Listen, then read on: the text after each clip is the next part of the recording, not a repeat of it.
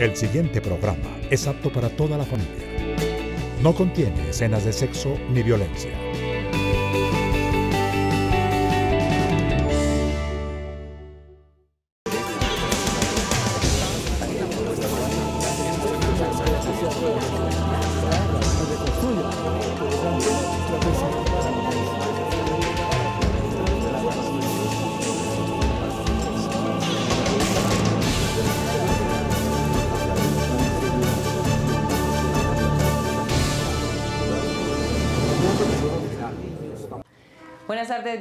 Contrastes, porque la realidad tiene diferentes miradas. Este es un espacio de FECODE concebido para que ustedes en la tranquilidad de su hogar construyan opinión. Hoy nuestro tema tiene que ver con la venta de Isagen, el segundo generador de energía más importante del territorio colombiano. Hay quienes han manifestado que es eh, la pieza más importante de la corona. Sin embargo, el gobierno nacional decidió venderlo. Las razones, pues vamos a tratar de explicarlas aquí porque todavía hay muchas dudas de si realmente la venta de Isagen, las acciones que le corresponden eh, al Estado colombiano, pues van a, redundar en mejorar la situación financiera o van directamente al tema de la infraestructura en Colombia. Sobre ese tema vamos a ahondar con dos invitados muy especiales. Saludamos a Mario Valencia, él es vocero por la Red de Justicia Tributaria, también docente catedrático de la Universidad Central, y esta es una de las eh, instituciones que básicamente presentó la demanda ante el Consejo de Estado para que esta venta de esta empresa tan importante para el país se frenara. Se logró inicialmente, sin embargo, después todo el tema del papeleo y el movimiento del gobierno logró que la venta de esa agencia diera, tanto así que para el mes de enero podríamos estar hablando que esto podría estar, eh, se, se, puede haber concretado. Mil gracias, Mario, por acompañarnos a esta hora. Gracias, Amoita. Un saludo a todos sus televidentes. También saludamos a Enrique Daza, él es de Sede Trabajo. Mil gracias por acompañarnos a esta hora también. Gracias, Moira. Bueno, y entremos en materia porque es un tema muy complejo. Algunos todavía no han entendido cuáles son las implicaciones reales de la venta de Isagen. ¿Es necesaria realmente la venta de esta empresa de energía? Mayra, ni es necesario, pero además no es conveniente. De hecho, es una irresponsabilidad de parte del gobierno de Juan Manuel Santos vender la energía con el supuesto de construir infraestructura. Primero porque esto es un absurdo desde todo punto de vista. La infraestructura y la energía hacen parte del mismo componente de competitividad que miden todos los países y con lo cual se comparan los países para ver quién es más competitivo que otro. Entonces, es un absurdo pensar que usted vendiendo la energía, entregando el control de la energía a un extranjero, con eso va a adquirir más competitividad construyendo carreteras.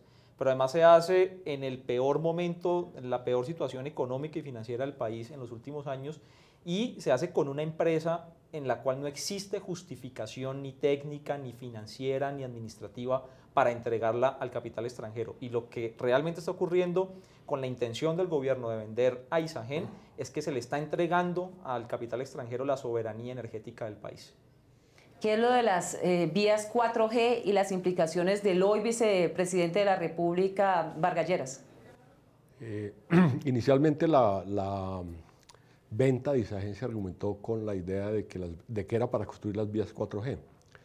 Las vías de cuarta generación en realidad son un poco de culebritas repartidas en todo el territorio nacional que en lugar de responder a un plan articulado y estructurado de mejorar la competitividad, lo que buscan es invertir en cemento para reactivar de alguna manera la economía regional. Inicialmente el gobierno dijo que era para eso, pero después a medida que se demostró que para financiar esas vías hay 100 formas más de financiación, incluyendo la plata de las pensiones, préstamos bancarios, endeudamiento externo, etc. Entonces el gobierno ha empezado más o menos a decir que la tiene que privatizar a Isagen para cualquier cosa. O sea, sí porque sí. O sea, no, el destino de los dineros eh, más o menos va a quedar en, eh, arbitrariamente en manos del gobierno. El gobierno puede con eso hacer gasto público, puede y gastárselo en gastos de funcionamiento, que es además de eso muy grave, porque el gobierno eh, está obsesionado por vender una empresa que tiene un significado estratégico para el país. ¿Qué piensan sobre la venta de Isagen los trabajadores de la energía? Saludamos a esta hora a nuestra compañera Viviana Bello. Ella se encuentra con el presidente de Sintralicol. Adelante, buena tarde, Viviana. Omaira, muy buenas tardes. Pues mire, como usted lo ha dicho, es Isagen la segunda generadora de energía más importante del país. Precisamente para ampliar sobre esta información y para saber lo que piensa el Sindicato de Trabajadores de la Energía de Colombia, saludamos a esta hora de la tarde a don Pablo Santos, quien es presidente de Sintra Elecol. Don Pablo, muy buenas tardes. ¿Y cómo reciben ustedes primero esta decisión del Consejo de Estado de darle vía libre a esa venta? Buenas tardes, Viviana y estimados televidentes.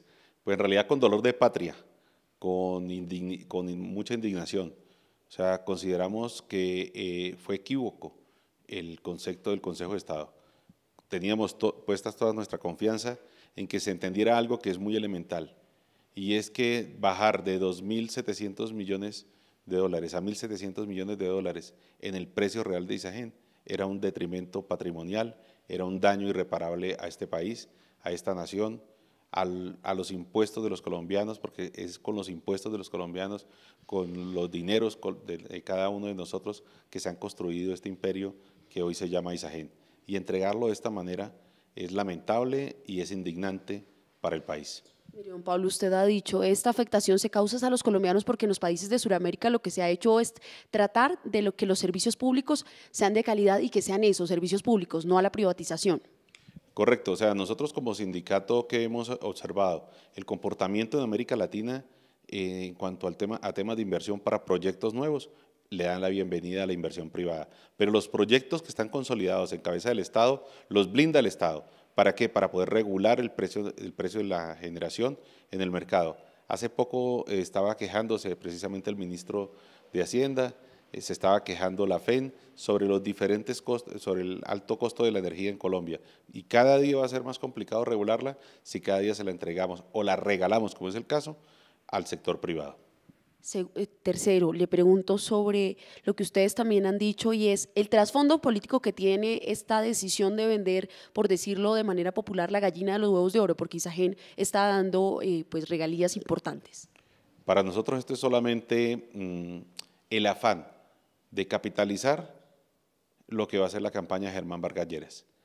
Es sencillamente eh, entrar a desarrollar las líneas, todas las autopistas 4G con un afán politiquero, con un afán de campaña. Y eso pues daña más todavía y tiene peor trasfondo para Colombia y no entendemos cómo un ministro que acaba de ser nominado y acaba de ser premiado como el mejor ministro de Hacienda del mundo, se pega una descachada como la que acaba de ocurrir. O sea, a nadie se le ocurre en un país que vive en, constante devaluación de, garantizar el precio de venta del principal activo de generación que tiene el país en pesos y no en dólares. Resultado, estamos perdiendo aproximadamente el 45% del valor de esta entidad. Muchísimas gracias a don Pablo Santos, quien es presidente de Sintra Elecol. Nosotros con esta información por ahora regresamos, Omaira. Muy bien, muchas gracias Viviana. Volvemos con usted más adelante porque tiene un invitado bien interesante, un economista que nos va a dar un panorama más amplio, más abierto sobre lo que significa en materia monetaria, de dinero, de platica en el bolsillo, esta venta de Isagen.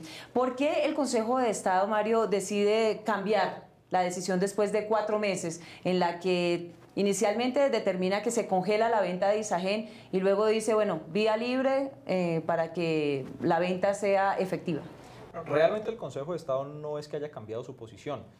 Eh, el grupo que hace parte del Comité por la Defensa de Isagen, en el que está la Red por la Justicia Tributaria, Sintra, Isagen, una serie de congresistas y numerosas organizaciones sociales y sindicales, interpusimos una serie de demandas hace dos años, cuando el gobierno anunció la venta de la empresa, y lo que había hecho el Consejo de Estado era decretar unas medidas cautelares, medidas cautelares que habíamos solicitado para que la empresa no se vendiera hasta que no se resolviera de fondo la demanda eh, eh, que habíamos interpuesto.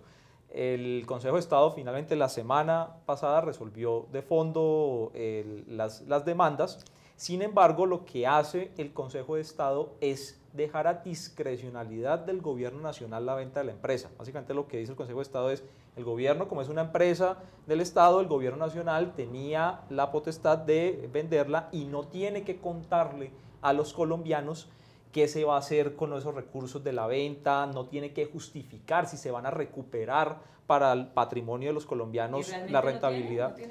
pues tendría que hacerlo, legítimamente tendría que hacerlo, pero insisto, pues, la decisión del Consejo de Estado es que el gobierno no tenía la obligación de hacerlo. Sin embargo, nosotros seguimos insistiendo en que es muy peligroso, incluso para el futuro de otras empresas como ISA, como Ecopetrol, que son ya de las poquitas cosas que le queda como patrimonio público a los colombianos, que eh, se cree jurisprudencia sobre este punto en el que el gobierno simplemente de manera arbitraria, sin justificar técnicamente, sin explicarle a los colombianos cómo va a recuperar esos recursos, pueda vender una empresa que no es del gobierno de Juan Manuel Santos, que no es del ministro Mauricio Cárdenas, que es de todos los colombianos.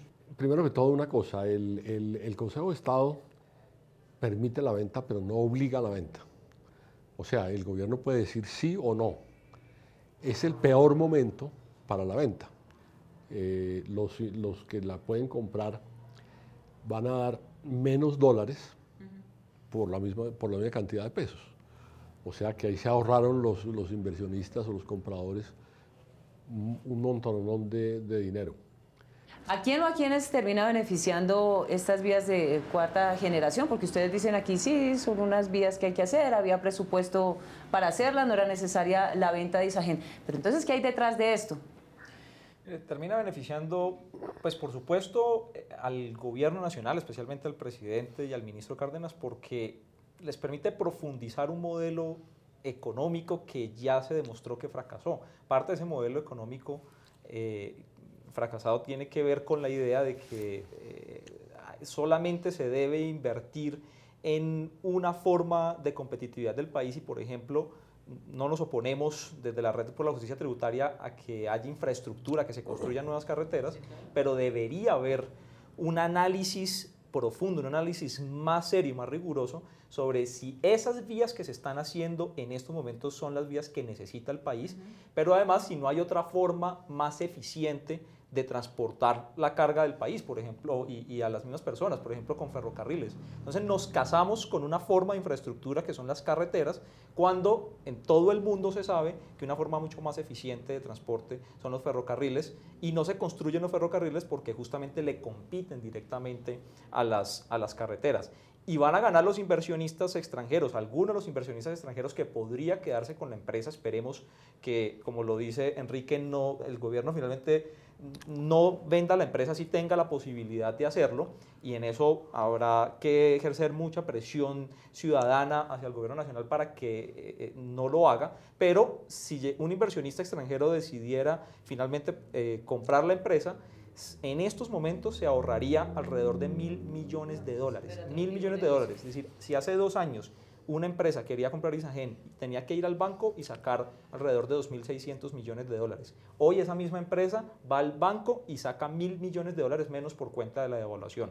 Entonces es un absurdo económico que se realice esta operación en medio de, de semejante devaluación y en medio de las necesidades que tiene el país de tener un sector eléctrico fuerte, de garantizar la soberanía energética, recordémosle a los colombianos que ya estamos padeciendo por cuenta del fenómeno del niño lo que pasó en 1990 con el apagón, con la hora Gaviria, y que son fenómenos que podrían repetirse si el gobierno eh, insiste en vender en eh, Isagen y convertir a todo Colombia en una especie de electricaribe. Antes de irnos al corte a comerciales, Enrique, si no le beneficia a la ciudadanía, si no son los colombianos del común los que se verían beneficiados con esta venta de Isagen, ¿hay detrás una campaña presidencial al 2018 que perfectamente le serviría? Sí, es que las, las vías y la construcción de carreteras, etcétera, es uno de los medios preferidos por los políticos tradicionales para hacer campaña, porque la adjudicación de pequeños o medianos contratos, eh, los recursos que recaudan de las empresas a las cuales se les adjudican las vías, porque esas son grandes contribuyentes, a las, grandes donantes a las campañas presidenciales. O sea, eh, eh, forma parte de la estructura politiquera del país hacer, en vísperas, a dos años de las elecciones, unas adjudicaciones millonarias a grupos financieros, grandes constructores y, lógicamente, usando la intermediación de políticos locales. Hacemos una pausa y volvemos en Contrastes. Ya está en circulación la edición 110 de la revista Educación y Cultura. tema central, nuevas tecnologías, educación y sociedad. Reconociendo el impacto de las nuevas tecnologías en la educación, la política, la pedagogía, la didáctica y la labor docente. Buscando caminos que empoderen a los maestros en el uso inteligente y profesional de las nuevas tecnologías. Suscríbase llamando al 245-3925. Educación y cultura. 32 años construyendo el movimiento pedagógico colombiano. ¿Qué es educación pública? La educación pública es un derecho fundamental y un bien común y es responsabilidad del Estado garantizar igualdad de oportunidades a sus ciudadanos. FECODE defiende una educación pública gratuita y financiada por el Estado y exige el freno de todas las formas de privatización y comercialización de este derecho fundamental. La educación no es una mercancía, es un derecho.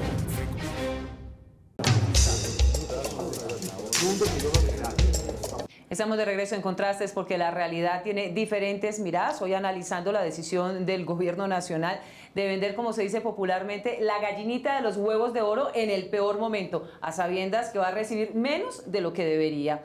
Vamos a hablar nuevamente con Viviana Bello para ver con quién se encuentra y el análisis económico, que es un punto bien importante y determinante en esta venta de una de las empresas más importantes de energía del país. Omaira, regresamos y esta vez la saludo desde el occidente de la ciudad. Mire, como usted lo ha mencionado, hablamos con el economista doctor José Roberto Acosta, quien aseguró que la venta de Isagen responde precisamente a los intereses particulares del ministro de Hacienda, Mauricio Cárdenas. También aseguró que la falta de movilización de los colombianos pues, ha hecho que grandes empresas en el país se privaticen. Hay alternativas distintas a la venta de Isagen se le han propuesto 22 alternativas al ministro de Hacienda de manera escrita y detallada que las ha realmente ignorado por esa terquedad de apropiarse de él algo que es de todos los colombianos. ¿Cuál es el interés del ministro de Hacienda? ¿Para quién juega? ¿A quién verdaderamente representa? Porque lo que queda claro es que no representa a los colombianos, sino intereses mezquinos y particulares ante semejante terquedad. Es importante que los ciudadanos se apersonen de Isagen. Es una entidad pública, nos pertenece a todos no es propiedad del ministro de Hacienda, Isagen no es propiedad del presidente Santos, Isagen es de cada uno de nosotros y por eso es importante que más allá del limitado fallo del Consejo de Estado, los ciudadanos se movilicen, hagan propia la empresa y reclamen un respeto y no la expropiación de lo público como está haciendo la administración Santos. Omaira, con esta información retornamos a estudio. Recuerden nuestros televidentes que pueden profundizar sobre este tema en nuestra página de internet www.fecode.edu.co. Viviana, muchas gracias. El tema del cabildeo que ese se ha quedado un poco en el aire, no se le ha hecho un análisis profundo. Y le contamos a nuestros televidentes en qué consiste el tema del el de cabildeo. Y es que el gobierno nacional evidentemente hizo un trabajo acucioso a su manera desde el escenario político en el Consejo de Estado para que esta decisión saliera rapidito. Cuatro meses fue muy efectivo. Pues por lo menos eso fue lo que se hizo público por un importante medio de circulación nacional y no hubo respuesta ni del gobierno ni del Consejo de Estado a esas acusaciones, digamos, que se estaban haciendo. Recordemos a los televidentes que hacer cabildeo, hacer algún tipo de incidencia ante las altas cortes, pues no solamente es indebido, sino que además es ilegal. Y en medio de las audiencias judiciales para decir sobre Isagen, sale la noticia de que el gobierno estaba realizando un fuerte cabildeo ante el Consejo de Estado para que la decisión fuera favorable al gobierno nacional, como efectivamente ocurrió además en un tiempo récord, digámoslo así, con relación a las eh, decisiones del Consejo de Estado. Enrique, los oferentes, ¿quiénes están en este momento ofreciendo en la puja pues por la compra de Isagen y que por fortuna salió eh, Electricaribe, que con todos los problemas que tiene en nuestro país ya sería la etapa pues que terminara también ofertando por eh, Isagen? Bueno, mira, inicialmente había como siete empresas eh, en el curso del debate y ante la incertidumbre sobre si se iba a vender o no, se retiraron como cuatro. Quedan tres, pero ninguna ha ratificado nuevamente su deseo de comprar. El gobierno lo que ha dicho es que, los va, que está auscultando y que está sondeando y que está mirando a ver qué va a hacer, pero todavía no hay eh, certeza sobre si tienen el mismo interés o no. Eh, yo creo que eh, esos son grandes empresas eh, proveedoras de energía de Francia, de China. esas empresas están en condiciones dada la debilidad del gobierno, casi que pedirle hasta rebaja porque el gobierno está prácticamente dispuesto a regalar eh, tremendo papayazo la, empresa. Entonces, en medio de la crisis pues, fiscal, eh, yo creo que el gobierno puede venderla lo que sea. Pero yo te quisiera señalar lo siguiente. Eh, la imagen que el gobierno ha dado es de que esto ya se acabó. Que el Consejo de Estado falló y que se va a vender y que en tres meses se vende. La realidad es muy otra. Hay muchas actividades legales que están en trámite desde acciones populares, eh, eh, la contrarrespuesta a la sentencia, eh, etc. pero aún así, aún si se vendiera, ahí se puede mandar el procedimiento de venta, se puede mandar el precio de venta, se puede, pueden sufrir acusaciones de detrimento patrimonial y aún si se vendiera, ¿sí?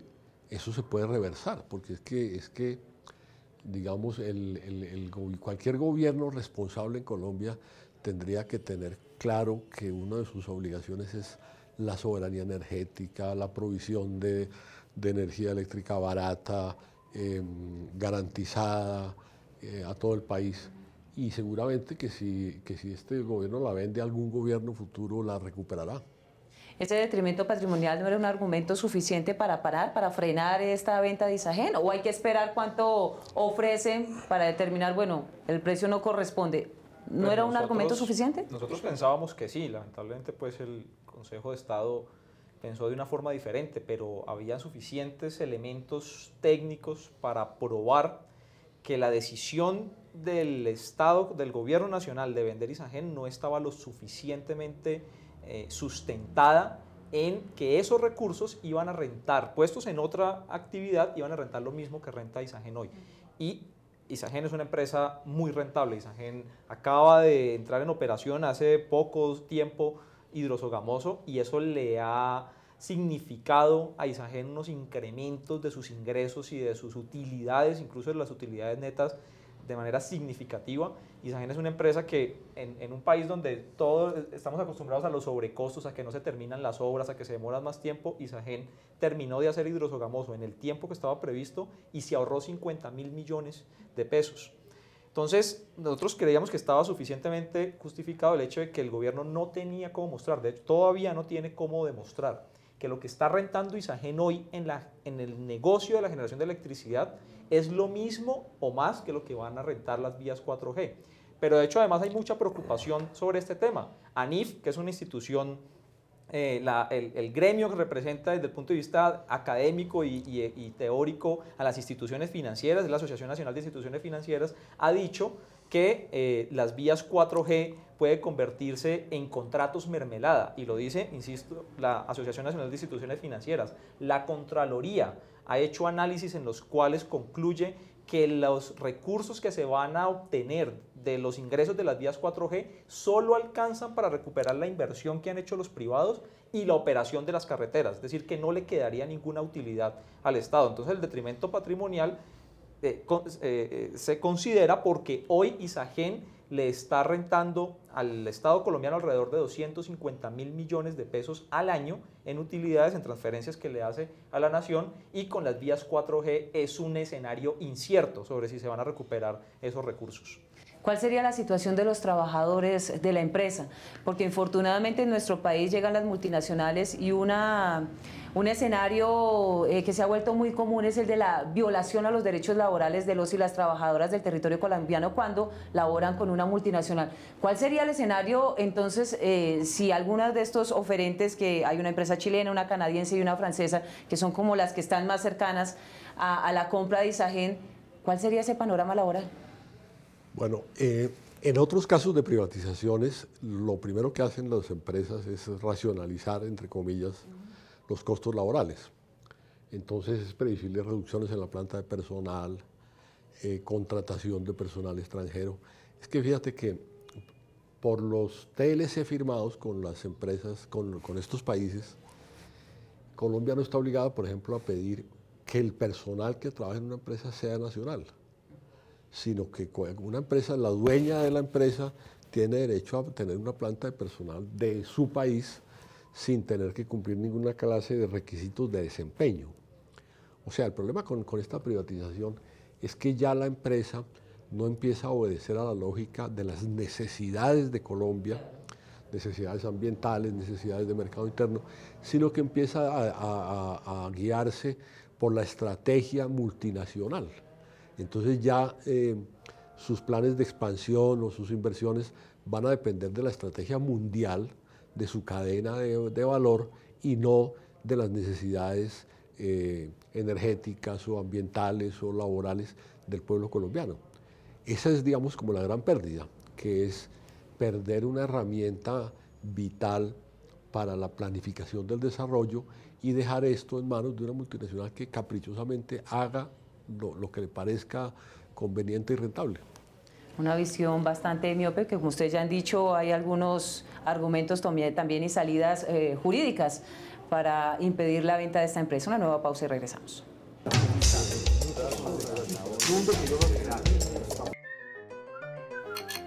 FECODE, Editorial Magisterio y Canapro le invitan a participar del quinto concurso de video Notas de Maestro, Educación en el Postconflicto. Primer puesto, 2.500.000 pesos y una biblioteca pedagógica.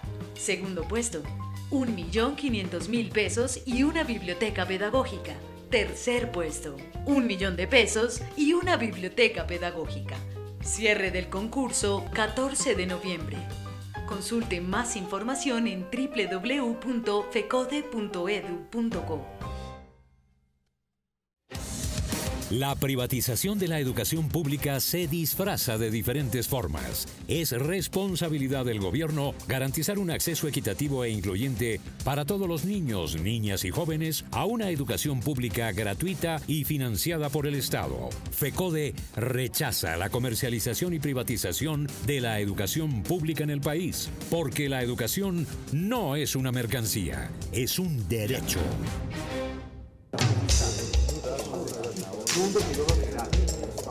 Mario, todavía hay para hacer para evitar la venta de Isagen y aquí la ciudadanía, la conciencia ciudadana es absolutamente fundamental. No hay que tener un sentimiento de que la cosa está derrotada, no, todavía hay chance. Pues mire, el gobierno quería vender la empresa desde el 31 de julio eh, hace dos años, del año 2013. No la ha podido vender. Todavía la empresa está en el control del Estado, todavía es una empresa de los colombianos. Yo creo que lo que tenemos que hacer todos los que defendemos a Isagen como patrimonio público, que nos oponemos a la privatización, es hacer una serie de acciones virtuales, de hacer acciones reales para impedir que el gobierno venda la empresa. Y de hecho, pues eso es lo que hemos venido haciendo hace dos años, no solamente con las estrategias jurídicas, sino que eso se ha complementado con una serie de acciones en comunicaciones, de propaganda, para mostrarle a los colombianos qué es Isagen y por qué la importancia de la empresa, de movilizaciones, de audiencias, de foros. Eh, alianzas con diversos sectores sociales y con diversos sectores políticos que están jugando todavía un papel muy importante.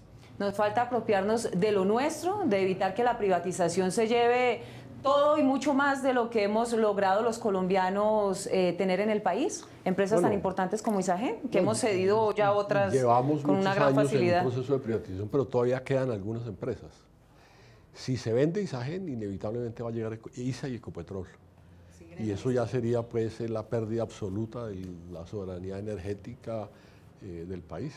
Eso sería extremadamente grave.